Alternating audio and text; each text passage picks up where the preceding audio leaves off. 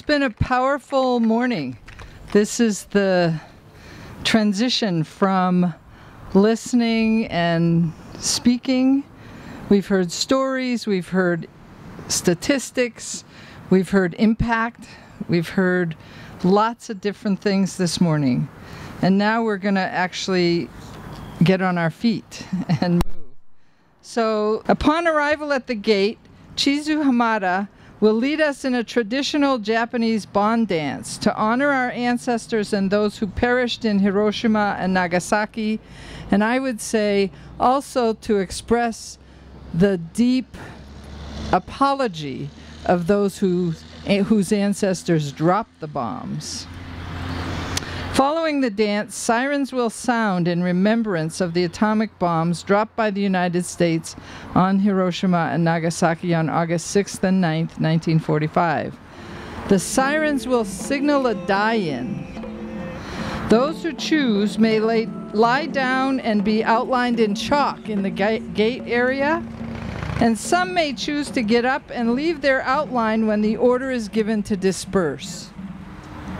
Others may choose to stay in position and risk arrest. Some may choose to risk arrest by standing in the gate area in front of the prone bodies and outlines. So if you don't lie down on the ground but want to get arrested, you stand in front of the gate. I want to say, I want to invite us all to hold what we're doing in the context of everything that we heard this morning. So we're going to the gate and we're doing it in response to the fact that our government is amassing nuclear weapons, is spending our money to do it, and that people's lives are being impacted, all of us, because we're in that 50 mile radius. So as we walk, let's honor each other and honor all of the communities that are impacted by this terrible thing that the government is doing in our name. And so, as we open this morning by giving love and thanks for all of our relatives, we end this part and move into the marching and drumming and dancing, recognizing that we stand on the shoulders of those who came before us and that everything we do today and in all of our lives has an impact for the next seven generations. And so as you walk, walk with them in mind because this is your gift to the future ones.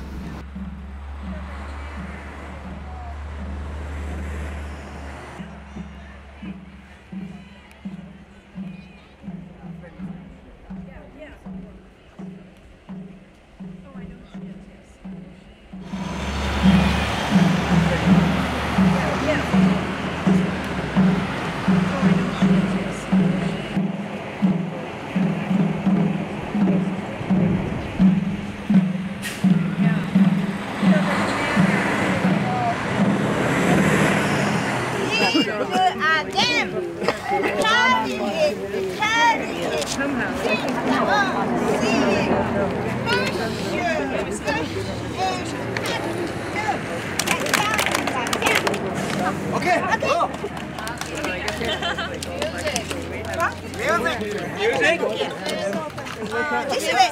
We're going to move the chapel, please.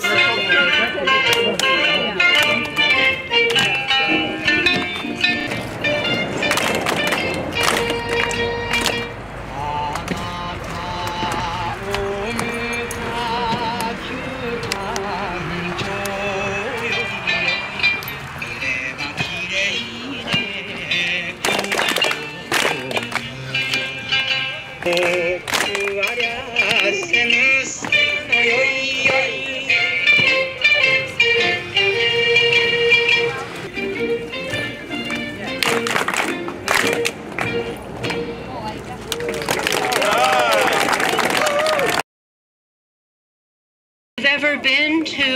Hiroshima and Nagasaki and visited the museum, you will see, and you may have seen in other media, photographs where the only thing left of human bodies was a smudge on the steps, a smudge on the sidewalk.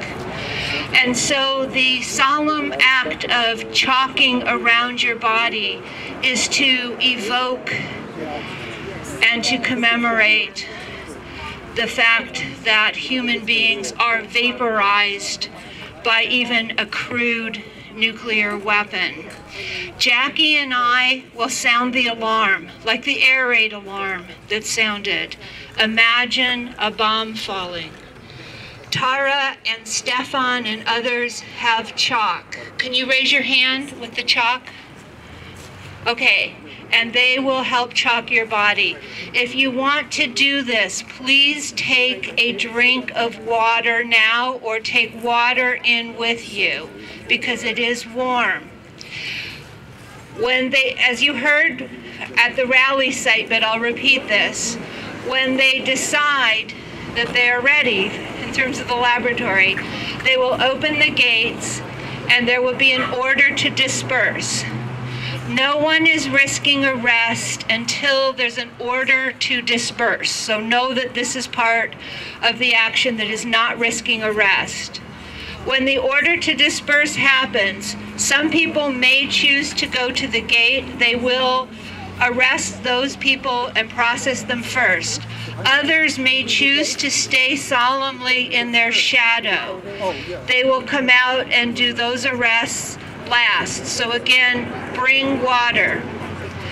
Um, with that, I'm going to leave you to think solemnly of that moment. You're going about your daily life in Hiroshima and Nagasaki. You're with your family, you're shopping, you're having food together.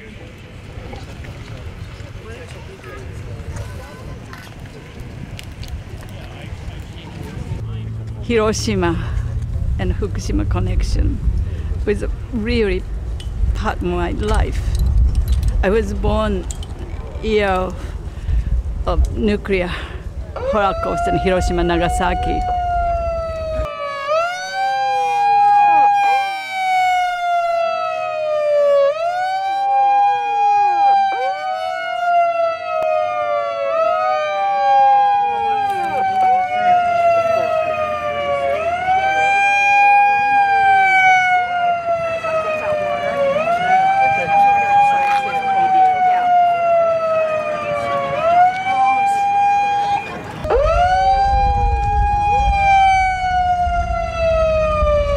The siren I grew up with. Every siren I worried about.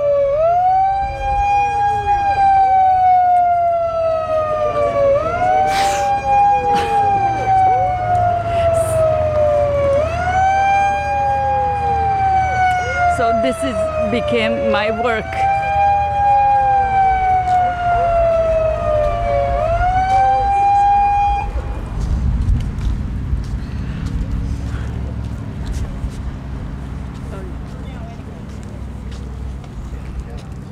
I was born the siren of B 29 carpet bombing Tokyo.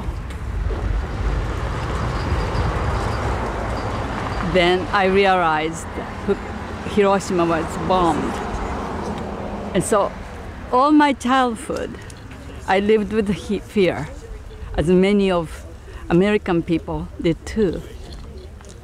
The nuclear holocaust now we came after so many years that we no longer can live with this fear. How we can transform this fear to love, the love that the, our love for this earth. It's a time to go back to love and especially women who worked in these issues so, so many years, like you, that we have such the feeling of comrade, that fighting together with this. It's not time to fight anymore. It is the love that changes, that transforms. So let's have a fun and dance and sing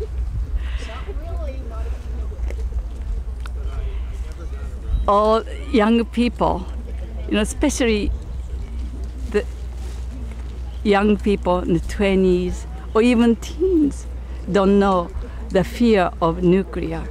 This is a time to teach them, to be together with them. That so many women worked on this issue, make a video.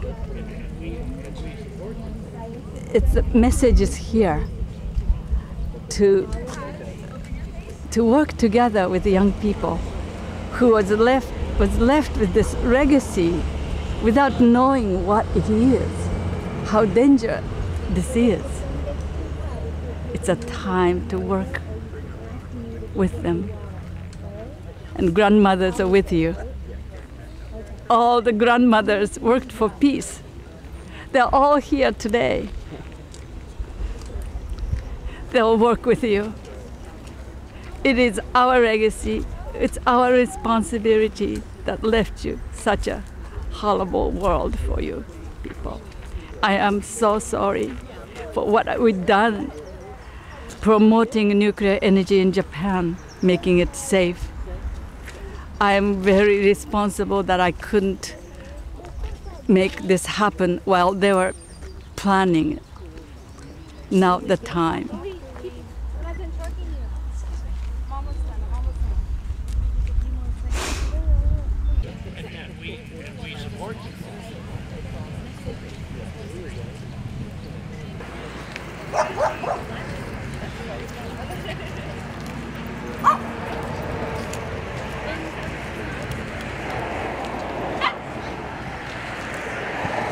And Vasco to risk arrest there.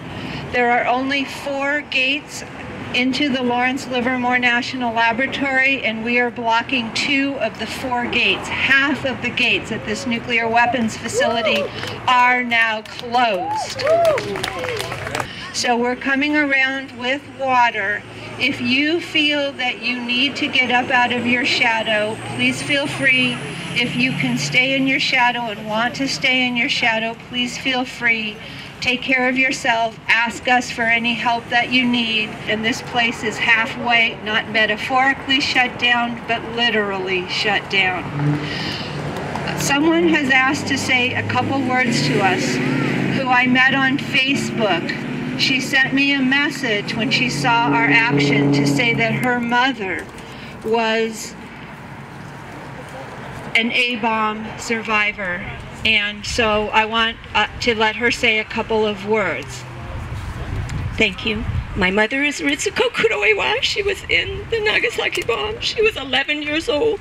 She's still alive today. She would never come to something like this because, you know, the Japanese people, they don't talk about stuff like this. This would be, you know, this would be horrifying to her.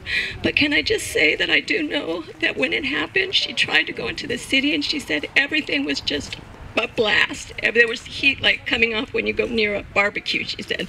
There's just no way you can go around it. And people were just lying all over. She said that there was there was blisters all over their bodies like potatoes, she said. They ate a lot of potatoes because they were starving. They were in the middle of war and they were starving. She she said when the blast happened, her whole house went down and she was underneath the house. She said she saw stars. Then when she was walking around, people were just begging for water. They didn't have any water and they were burnt and they just kept begging everybody for water. So one of the ceremonies that um, Nagasaki and Hiroshima bomb survivors do is they give people water. So it is very significant that your friends here are walking up to you while you're laying there to give you water because that's what they wanted. They wanted water. Thank you.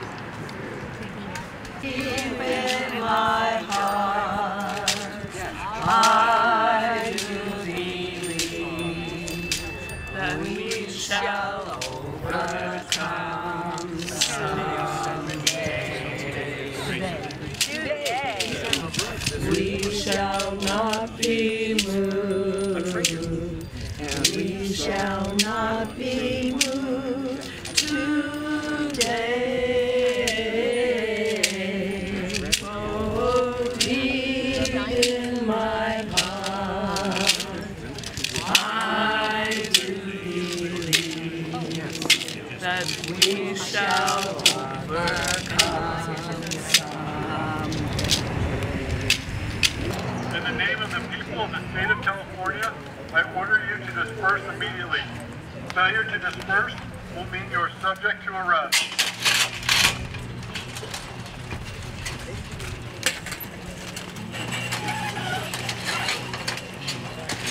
Thank you.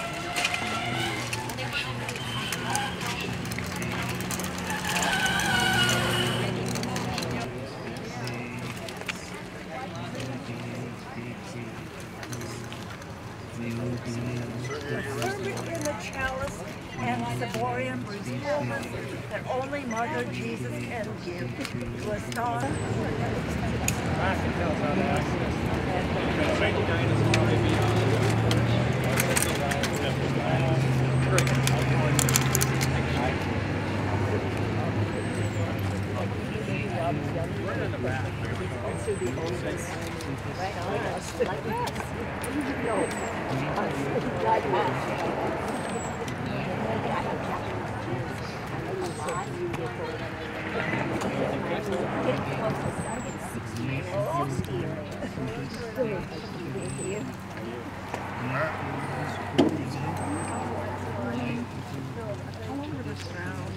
You're on the roadway, cameras or not, you're gonna get in handcuffs. Let's go. On the roadway, you will be put in handcuffs. Camera or not. Notebooks, cameras, it doesn't matter. At this point.